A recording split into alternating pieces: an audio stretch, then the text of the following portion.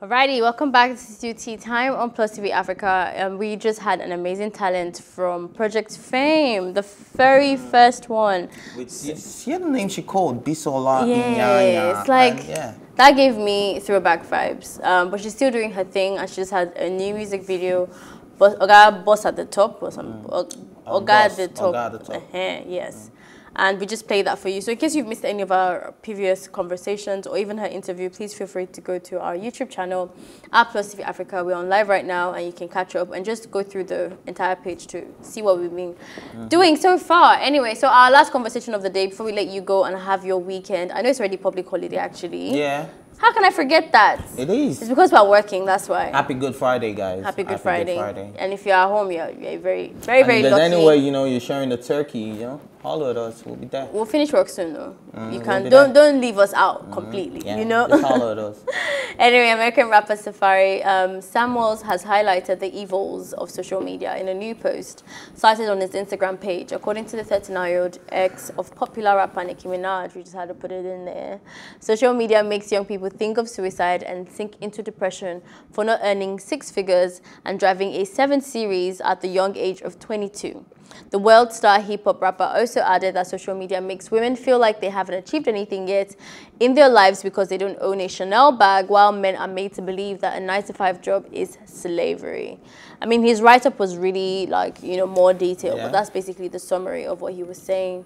What do you think, of Ife? I couldn't agree more because um, at the end of the day, you see a lot of people, you know, comparing their lives to people like, you see comments like God when. Mm. That freaks me out when people say stuff like that, like God when. You see somebody driving a car, you're like God when. You see somebody getting married, you're like God when. I, have never been a fan of God when because I know God's time is the best. Um, but we're just asking what time it is. what time is this God's What time is the best is time? this God's time?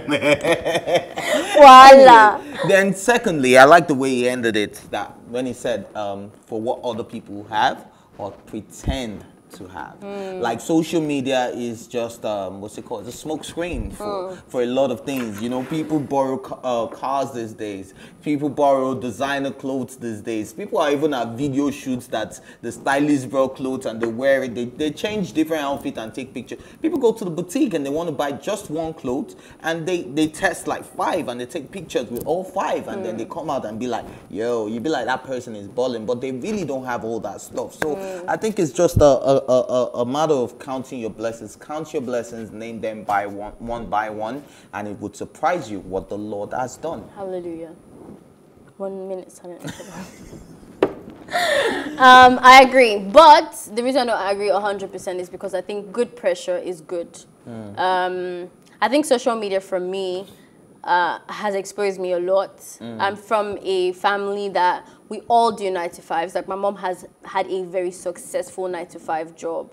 Um, and that's the only thing I know. Mm. I think it was onto social media that I realized that that's good though. That's mm. good, and you can actually have that successfully. But there's other options, and that there's people who are doing a lot, and More. also that there's young people doing a lot. Mm. Um, social media is the only thing that could have given me that so. Because my personal circle didn't have that.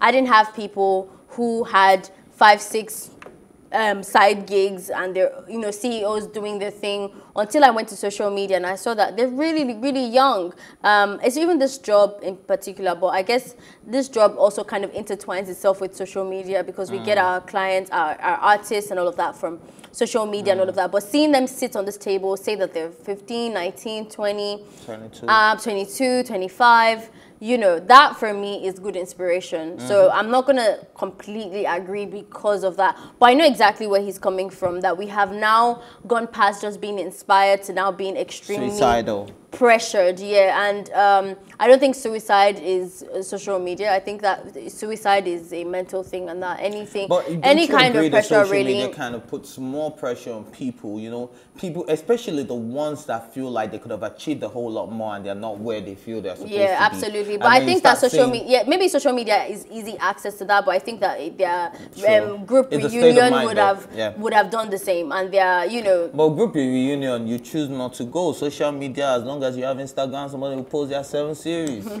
you understand? I think so. Sometimes I wonder, like, ah, guys, I mean, what's happening? Nowadays, it's not, you know, Where we are you saying getting this it's the people from? you follow. But right now, once you just click, by mistake, just click discover. How? Hey, It's see, over. It's over. by It's mistake. over. That's even and mistake. even some of the following, actually, some of your, of your friends that you know are doing things that you know I be, Mm, uh, yeah, quite out there. But I saw I saw a video where a guy was saying that look, nobody can pressure me. The only pressure you can give me now, I've seen it all. The only pressure you can give me now is to say God lives in your house. If God does not live in your house, there is nothing you want to show me. Do you understand? And I think I'm I, I'm of that train of thought too. Like I don't see the pressure from anyone else. I'm running my race, you're running your race. I still get comments from the race that me I'm running that I'm comparing to somebody else. Yeah. Do you understand? Somebody else is looking at my life and Thinking, thinking, they want this yeah, life. yeah. Now I'm looking at somebody else's. So I think it's just a chain and it's Yeah. just how you set your mind and how you want your life to be. I think I have a beautiful life. Yeah,